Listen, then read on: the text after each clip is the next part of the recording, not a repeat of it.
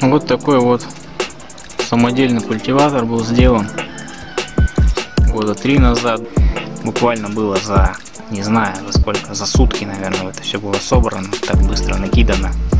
Для того, чтобы одну весну сделать, как говорится, и потом сделать его нормальным.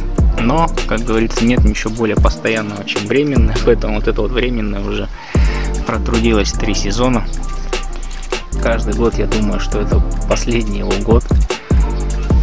Но вот такой вот драндулет работает.